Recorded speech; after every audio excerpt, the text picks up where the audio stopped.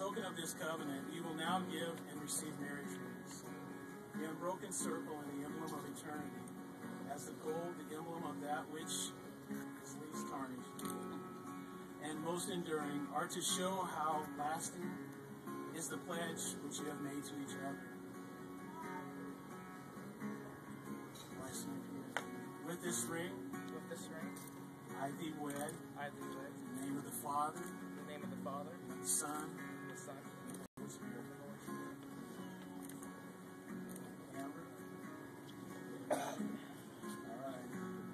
this ring,